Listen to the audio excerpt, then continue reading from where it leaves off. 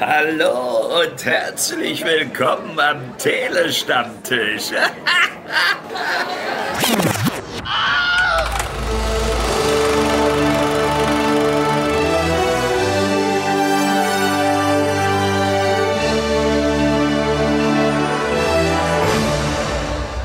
Gott zum Gruße. Willkommen beim Telestammtisch zur Besprechung von Des Teufels Bad. Der neue Film des Regieduos Severin Fiala und Veronika Franz. Lieder, diese beiden Namen, sagen die dir was? Absolut, denn dieses österreichische Regieduo hat ja bereits eine Reihe sehr interessanter Filme vorgelegt, unter anderem The Lodge, den ich für einen der besten Horrorfilme des damaligen Jahres, wenn, wenn ich mich richtig erinnere, war das 2020 oder 2019, dass der rauskam. Ja. Oder den sehr, äh, fand den sehr spannenden und sehr hintergründigen Ich sehe, ich sehe, der dann auch ein weit weniger beachtenswertes Remake US-mäßig bekommen hat, inszeniert haben. Also im Genrefilm, gerade dem hochqualitativen New Horror Genrefilm, sind die beiden zwei Namen, die man sich merken sollte. Und da möchte ich jetzt mal kurz ganz, ganz krass und ganz, ganz keck Eigenwerbung machen. Äh, in der neuen Ausgabe Schocker mit Schlogger, da bespreche ich mit der werten Kollegin Schlogger Ich sehe, ich sehe.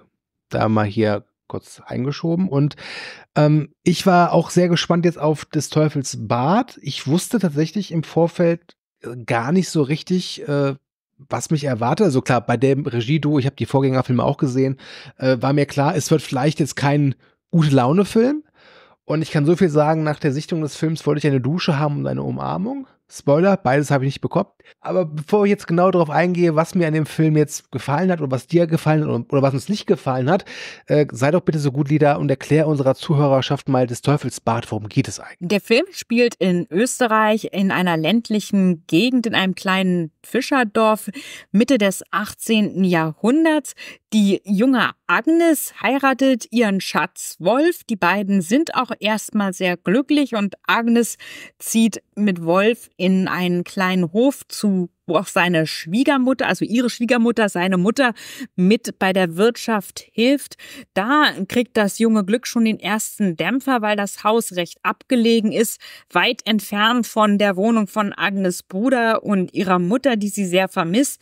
Und ihr großer Wunsch, doch recht bald schwanger zu werden und selber Mutter zu sein, erfüllt sich nicht. Und es gibt immer mehr Dinge in ihrem Leben, die, ja, für sie immer mehr zur Last werden und sie immer mehr in Kummer stürzen. Aber da es eben eine tief religiöse Zeit ist und fest die Überzeugung auch herrscht, dass Selbstmord oder dergleichen eine Todsünde ist, sieht sie aus ihrer Depression, in die sie immer mehr verfällt, keinen Ausweg und findet schließlich oder gedanklich wendet sie sich schließlich einer möglichen Lösung zu, die recht grausig ist. Diese Art der Lösung, die ja, gibt der Film ja schon den ersten drei Minuten Preis. Also ich hatte das Gefühl, mir macht der Film am Anfang schon klar, wie es enden wird. Trotz allem weiß ich jetzt nicht, sollen wir es verraten oder sollen wir die Leute eher unvorbereitet da reingehen lassen? Was meinst du? Ich denke, wir können das durchaus vorwegnehmen, gerade weil es essentiell für eine Besprechung ist. Also ihr habt jetzt, während ich das sage, noch kurz Zeit, abzuschalten, ins Kino zu gehen und dann den Podcast zu Ende zu hören, wenn ihr auf gar keinen Fall wissen wollt, worum es geht. Aber wie Stu schon sagte, dieses Handlungselement wird schon früh in der Handlung vorweggenommen und in der elliptischen Form quasi vorausgesetzt. Nämlich geht es hier um etwas, das im Englischen Murder by Self, now Suicide by Proxy heißt. Das heißt, es geht darum, dass jemand sein Leben beendet, aber so ähnlich wie bei Suicide by Cop, was in den USA häufiger auftritt, versucht das so hinzubekommen, dass jemand anderes ihn oder sie umbringt. In diesem Kontext eben im Spätmittelalter war das eine erschreckend verbreitete Praxis, um der Hölle an die Leute damals fest glaubten. Also wie für die tiefreligiösen Menschen hier in diesem kleinen Dorf ist für Agnes die Hölle kein religiöses Konstrukt, sondern eine Realität. Die Leute sind also wirklich fest davon überzeugt, dass wer sich selber umbringt, und das tut ein junger Mensch in diesem Ort, der wird dann nicht nur einfach auf den Schandacker geworfen und verwest da. Nein, der muss für immer in der Hölle schmoren. Aber wer jemanden anderen tötet, wie eine Frau, die zu Beginn hingerichtet wird und auf deren ähm, ja auf deren äh, Hinrichtung dann auch der Bruder von Agnes zugange ist, so dass da eine direkte Parallele zwischen den beiden hergestellt wird. So jemand kann noch seine Sünden bereuen und dann am Ende ins Himmelreich kommen, weil es ja die Vergebung gibt. Also das Gefühl, was ich hatte, als ich aus dem Film rauskam, war äh, Gott sind christliche Dogmen scheiße. Also mal ganz ehrlich, mir, mir tat diese Agnes halt wirklich, also wirklich von Herzneid, gespielt übrigens von äh, Anja Plasch, die das auch ganz, äh, ganz furchtbar, nein, ganz hervorragend macht, wollte ich sagen. Aber dieser Leidensweg dieser Frau, wie die, die Fiala oder der Fiala und die Franz, so heißen sie, erzeichnen, ey, das war wirklich eine, eine, Tortur für mich. Und ich meine das im besten Sinne. Das, dieser Film, er hat mich wirklich fertig gemacht. Der hat mich wirklich an meine Grenzen gebracht, weil ich da wirklich saß und ich wusste halt im, wann, ich meine, er spielt im 18. Jahrhundert in Österreich, da war klar, da wird es jetzt nicht so sein, dass plötzlich alle sagen, hm, also das mit dem Glauben und der Religion müssen es noch mal überlegen. Irgendwas läuft da schief. Und es, es war halt von Anfang an klar, dass das nicht gut enden wird. Aber meine Güte, wieder, ich sag's dir ehrlich, ich glaube, dieses Jahr hat mich kein Film so gebrochen im Kino wie der hier. Ja, die Religionskritik, die hier wirklich sehr differenziert und sehr intelligent aufgezogen wird, die war ja auch schon in The Lodge, also die Hütte, ein zentrales Element. Und tatsächlich ist das Ganze auch außergewöhnlich gut recherchiert. Es sind hier nicht nur fantastische Settings und exzellente Kostüme, sondern auch die Hintergründe sind wirklich überzeugend und gut ausgearbeitet, auch sehr faktengetreu. Und tatsächlich sieht die Realität wie so oft noch erschreckender aus als das, was uns im Film gezeigt wird. Nämlich, dass dann die Kirche und die Institutionen, um zu verhindern, dass es zu sehr, diesen sehr vielen äh, äh, selbst, also Selbsttötungen äh, durch andere, durch eben äh, Hinrichtung kommt, dass dann die Hinrichtung noch mit Folter verbunden wurde. Das heißt, man hat den Leuten zum Beispiel erst die Hände abgehackt oder sie zuerst geblendet, bevor sie hingerichtet wurden, um das noch abschreckender zu machen. Aber die Leute waren letztendlich die die den Tod gesucht haben, so verzweifelt, dass sie selbst das in Kauf genommen hatten und sich dann auch gedacht haben, lieber eine Stunde leiden als in der Hölle ewig leiden. Ne? Hm. Das ist ja dann auch eine ja. Abwägung. Und der Kindsmord, zu dem eben auch Agnes greift, genau wie die Frau, die wir am Anfang sehen, der war auch gerade von Frauen äh, eine übliche Praxis, um sich um ihr eigenes Leben dann durch Hinrichtung zu beenden, da die Kinder zu ihnen leichter Vertrauen gefasst haben und ein Kind eben leichter zu töten ist, als einen Erwachsenen zu überwältigen. Ja, das, äh, also wie gesagt, ist, das ist jetzt, ich würde sagen, das ist jetzt kein grafisch besonders herausragend brutaler Film, aber trotzdem ist der in einer Art und Weise gewalttätig, die mir halt wirklich durch Mark und Bein gegangen ist. Das sollte man ganz, ganz klarstellen. Ähm, was ich auch total toll fand, ich habe Agnes auch irgendwie komplett verstehen können, weil so wie dieses dieser Alltag da gezeichnet wird in diesem, in diesem Fischerdorf, es war, du hast halt es gab keinen Moment des, des wirklichen Glücks. Ich meine, selbst der Ehemann äh, Wolf, gespielt von David Scheid, da lässt der Film ja auch so ein paar Details so, so offen, oder das ist offen, aber er gibt so ein paar Hinweise darauf, dass der vermutlich homosexuell ist und sein, sein Geliebter sich ja dann auch irgendwie das Leben nimmt. Das ist halt der, der dann später auf diesem Schandacker dann landet. Aber das wird nicht so wirklich auserzählt und trotzdem, du verstehst es. Du, dir ist immer irgendwie, du kannst sie, also ich konnte sie komplett nachvollziehen, weil in dieser, in dieser Welt, da ist da ist überhaupt kein Raum für Glück, da ist überhaupt kein, kein Raum für Zufriedenheit, für eine Selbstentfaltung, für eine Selbstbestimmung. Du bist einfach nur Teil dieses Systems, das funktionieren muss.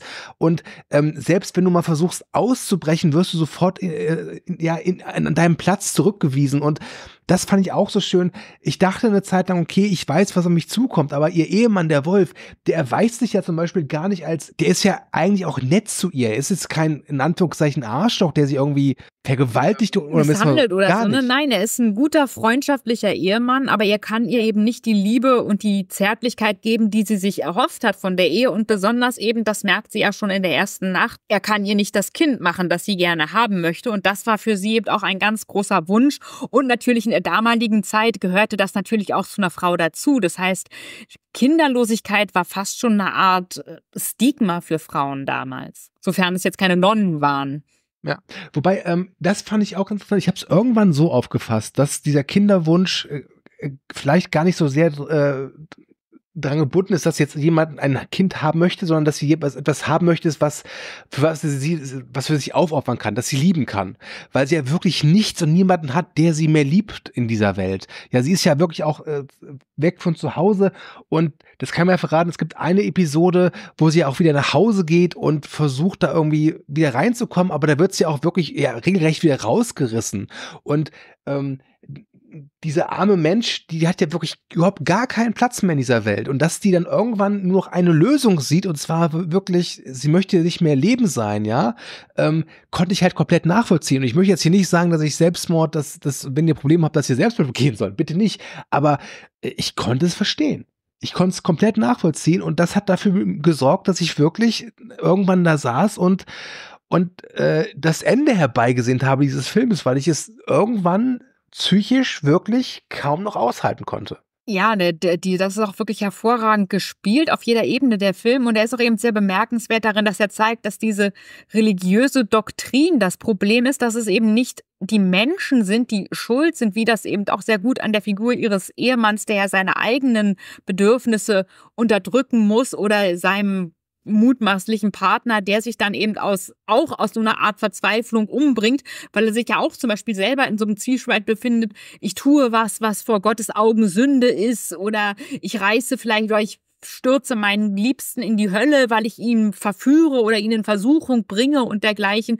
Also, das ist für niemanden dieser Figuren einen Ausweg gibt und dass dieser Film auch voller subtiler Symbolik steckt. Zum Beispiel, dass die eben Fischer sind und der Fisch ja ein Symbol Christi ist. Also im griechischen oder im früher römischen Reich war das Fischzeichen Ichtes ähm, eben ein Synonym für Jesus und das Zeichen der christlichen Sekte damals. Also solche Symbole sind in dem Film unterschwellig ständig präsent. Dann haben wir auch ganz viele, wie schon erwähnt am Anfang, diese Parallelen Parallele zu der anderen Frau, die ebenfalls hingerichtet wird. Der wird nach altem Aberglauben ein Finger abgehackt, der dann Agnes ein Kind bescheren soll was aber natürlich nicht klappt. Und wie du, wie du das schon richtig angemerkt hast, es geht hier vermutlich auch nicht einfach nur um den Kinderwunsch im Sinne von, sie möchte gerne Mutter sein, sondern dass sie eben einen Lebensinhalt sucht, irgendetwas, woran sie sich festhalten kann, dass ihrem Leben einen, einen Sinn, eine, eine Erfüllung, irgendein Ziel gibt. Und das hat sie einfach nicht. Und man merkt auch an ganz vielen kleineren Details, dass äh, wie ständig an ihr kritisiert wird, dass alles, was sie versucht, richtig oder nach ein kleines bisschen nach ihrer eigenen Art zu machen, sofort unterdrückt und geändert wird. Und sei es auch nur ihre kleine Behausung ein bisschen so einzurichten, wie sie es haben möchte, das muss dann alles gleich beseitigt werden. Sie kann sich also nicht mal im minimalsten Rahmen irgendwie ausleben. Ja, also gerade auch diese, was du gesagt hast, diese Situation, dass sie versucht, sich in ihrem eigenen Haus halt irgendwie äh, einzurichten. Es ist ja diese Sache, wo die Schwiegermutter, diese Gänglin, gespielt von Maria Hofstetter, ähm, ihr halt Hinweise gibt, wie sie ihre Pfannen doch bitte aufzuhängen hat. Aber äh, Agnes will halt die Pfannen so haben, wie sie es für richtig hält. Und in, natürlich, das klingt jetzt fast schon ein bisschen wie so eine, wie so eine Komödiensituation, aber das ist wirklich, das war für mich irgendwann nur noch purer Psychoterror, wie ich da sehen musste, diese Agnes, die, der auch irgendwie irgendwann selbst die Energie fehlt, um dagegen aufzubegehren, ja, aber wie die dann versucht mit Pfannen einfach so, nee, ich möchte aber die Pfanne jetzt hier hinhängen. Und das schon irgendwie die ultimative Form der, der Rebellion für sie ist, der Emanzipation, das war, das war schwer auszuhalten als Zuschauer, also, also, also für mich. Und ich weiß, der Film ich würde ihn jetzt nicht unbedingt als Horrorfilm bezeichnen, aber er hat sich für mich so angefühlt. Für mich war das wirklich zwei Stunden lang purer, purer Horror. Ja, also, wobei man noch sagen muss, es gibt hier durchaus einige, also eine Reihe von ähm, sehr, ja, also der Film arbeitet sehr viel mit Atmosphäre. Wir haben ja auch so viele unter die Haut gehende Szenen, wo Gewalt jetzt nicht unbedingt aufgrund ihres Ausmaßes erschreckend ist, aber wie ein Haar, das in einer Szene gefädelt wird, buchstäblich unter die Haut geht. Es wird auch Blut getrunken und auch das ist ein historischer verbirgter Fakt. Dieses Bluttrinkritual, das Leuten dann gute Gesundheit bescheren sollte nach einer Hinrichtung. Also es sind hier nicht einfach nur irgendwie Schockeffekte, die spekulativ bemüht wurden, sondern das sind wirklich historische Fakten. Und der Film zeigt eben auch, in was für einer, ja, rohen, barbarischen Zeit die Leute da leben und trotzdem diese, diese massive Pietät äh, haben, an die sie sich da klammern. Also, das ist wirklich ein Film, der, denke ich, völlig zu Recht als Horrorfilm bezeichnet wird, obwohl dort nicht im eigentlichen Sinne irgendetwas Übernatürliches oder Fantastisches passiert. Alles ist in der Realität verankert, aber das erhöht den Schrecken noch.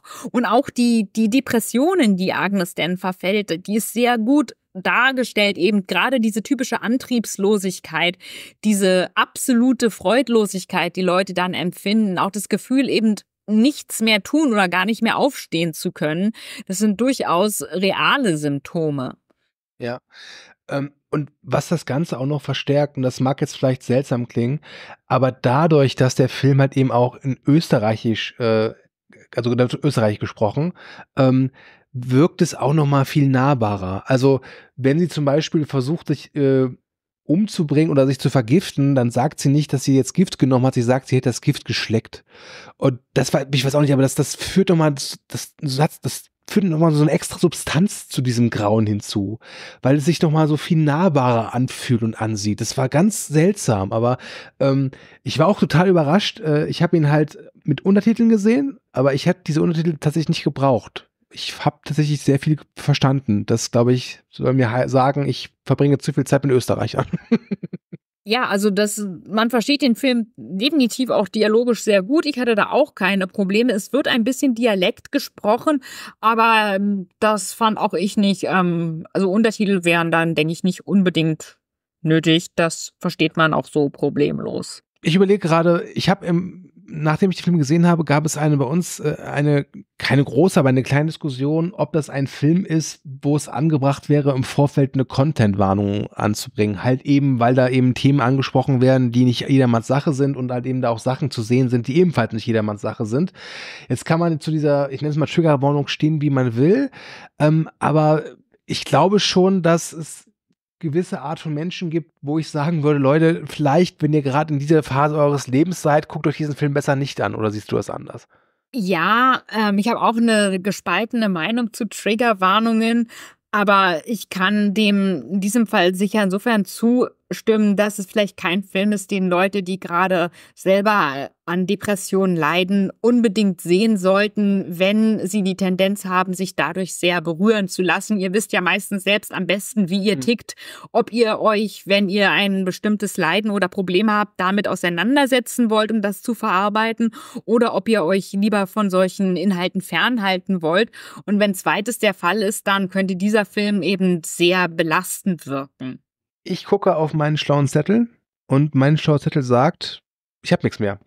Auch ich habe nichts mehr. Vielleicht könnten wir noch als kleinen Bonus hinzufügen, was denn eigentlich der Titel auf sich hat, nämlich das ist ein zeitgenössischer Begriff für Melancholie, die ja eine Art Synonym auch war für Symptome, zu denen auch, unter die auch ähm, zusammen Depression ausmachen, also des Teufels Bad, das bezeichnet quasi indirekt die ja. Depression, so wie sie damals aufgefasst wurde. Ja, ansonsten glaube ich, können wir zum Fazit kommen. Ich äh, schiebe mich mal vor, ähm, für mich ein Jahreshighlight, definitiv ein Film, der mich wirklich, ja, äh, der hat, der hat Emotionen in mir ausgelöst. Und zwar einige. Und äh, ich sagte schon zu Beginn, nach dem Film wollte ich duschen und eine Umarmung. Beides habe ich nicht bekommen. Das war ein sehr unschöner Heimweg, das kann ich euch sagen. Ansonsten möchte ich noch äh, sagen, äh, Teufelsbad hat bewiesen, dass wir in den letzten 300 Jahren dann doch gewisse Fortschritte gemacht haben. Gott sei Dank oder besser gesagt, puh, Glück gehabt und auf jeden Fall eine glasklare Empfehlung von mir